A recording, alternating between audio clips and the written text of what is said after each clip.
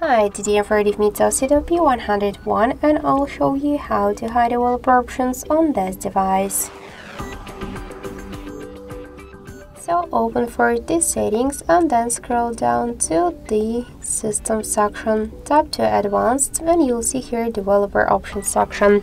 If you want to hide the developer options, you should just click on the switcher to turn them off. Now all of the options they are blocked.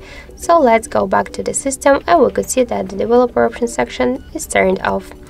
That's it, thank you for watching and if you like this video, leave thumbs up and subscribe.